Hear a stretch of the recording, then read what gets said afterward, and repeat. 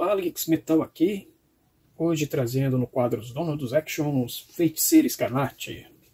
Vamos pra vinheta? Isso aí pessoal, trazendo hoje Feiticeiro Escarlate, Marvel Legends, Hasbro. Esse aqui é um cartelado mais clássico, né? É uma das linhas da Marvel Legends, né? Como, como várias outras. Uma olhadinha na caixa, na embalagem. Aqui uma arte dela, né? Então, aqui detalhes, aqui mais para trás. Aqui nas costas da embalagem. Tem aqui breve data files em algumas línguas, inclusive o português. Tá? E é isso aí. Vamos tirar da embalagem. E voltamos, galera com a feiticeira escarlate fora da embalagem. Vamos começar pelos acessórios, que basicamente são efeitos de magia, né? Então tá aqui, ó, dois efeitos que, pelo formato, parece ser colocado no, no antebraço. Esses dois círculos devem ser colocados, imagino eu, ali no punho, na mão, nas mãos, né? Caiu um aqui, peraí. Pronto. E a própria feiticeira escarlate. Vamos dar uma olhadinha nos detalhes. Curso, escultura. Pintura. Que bonito.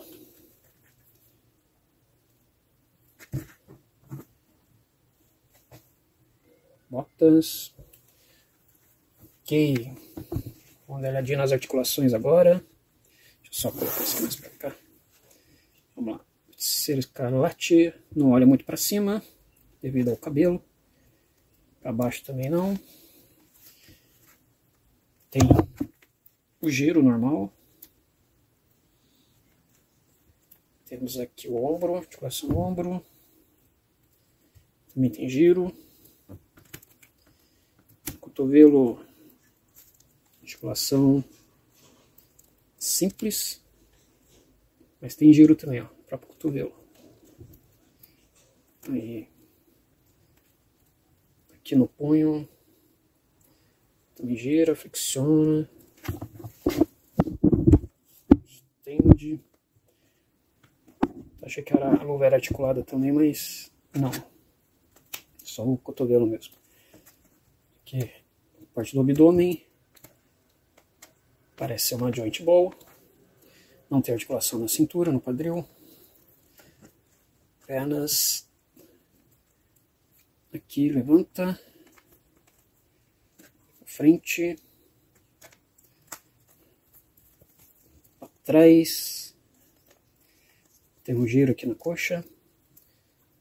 Joelhos, articulação dupla. Aqui no tornozelo, também tem giro, flexiona, estende, capa é um plástico macio,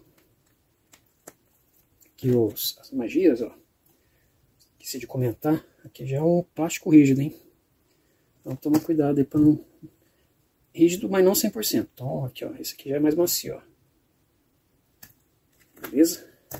Vou tentar colocar algumas magias aqui são os acessórios que vem. Aqui, ó. Troca na mão. Imagino que isso deva ser assim. Então, esse, para não cair não, feiticeira. Deixa eu ver. Isso aqui é assim. Ó, sei lá. Encaixar aqui e vamos ver o efeito.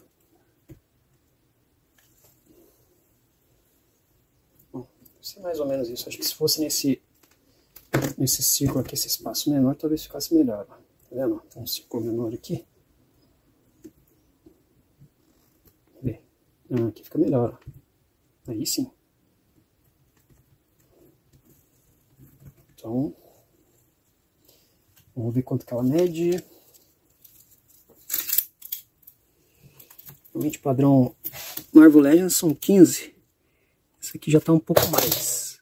Esse aqui está com 16 centímetros. Outra nota. Cara, gostei. Uma figura simples, tá? Um...